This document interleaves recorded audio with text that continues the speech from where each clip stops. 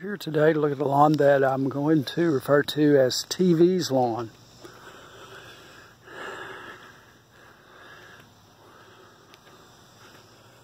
It's a hybrid fescue lawn.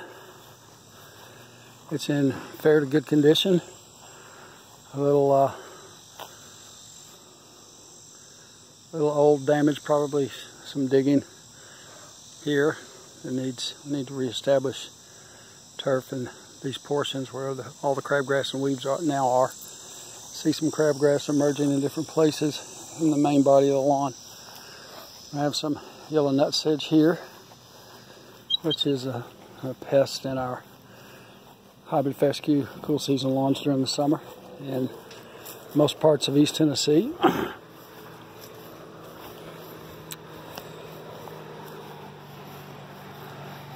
have it here as well. We've got in-ground irrigation, which is good. Had uh, some summer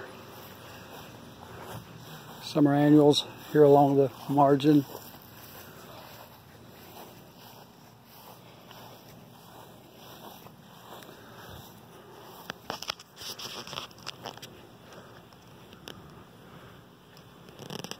This is mainly weeds in here. We'll need to dress this up in the fall.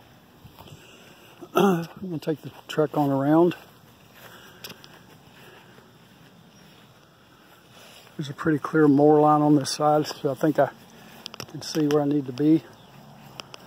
Um, this will need to be reestablished in turf, I'm assuming. This won't be anything other than grass.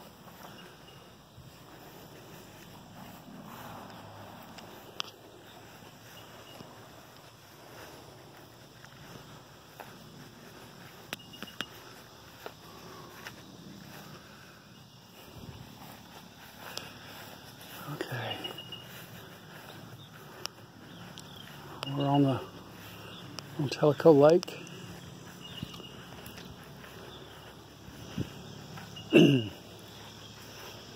of summer weed in here, buttonweed and wild violet. Difficult but not impossible to control. Um,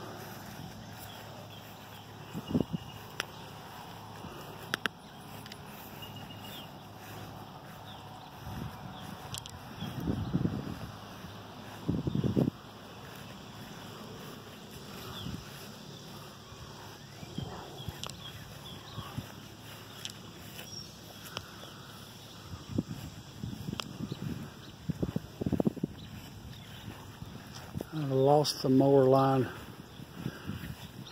back here now. Um, no, maybe not. I don't know what that stake is, but I'm still seeing a mower line now. It's here. So I'm guessing this dogwood tree is on the neighbor's property. It's not uncommon for a homeowner to plant a tree or something at the corners to remind them where the property lines are. This is a very expansive lawn. Um, I'm guessing there's three quarters of an acre here.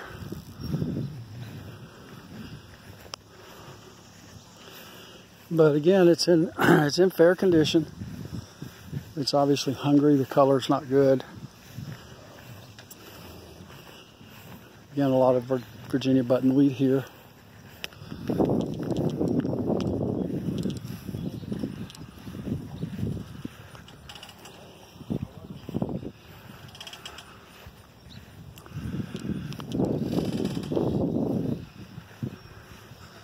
See how far we go over here on this other side.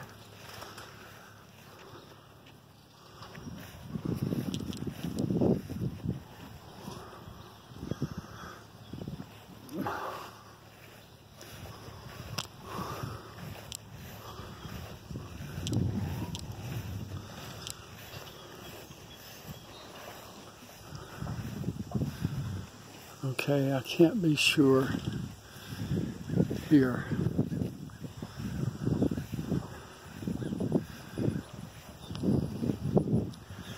Looks like it may be that this planting bed here is on the neighbor's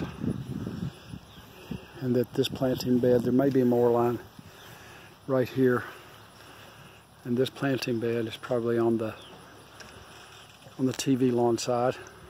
So I'm going to collect soil samples, probe around, see what the soil looks like. It's always the best first step to get soil samples collected sent off to the lab and get an analysis done. So we're working best practices knowing what's needed to make the soil as productive as it can be. Um, again, trying to make a best guess here.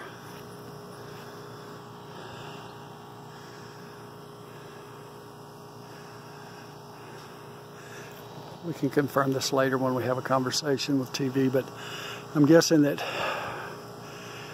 that that bed straight ahead is is part of this, this property, and that the mower line is heading straight up to the mailboxes there.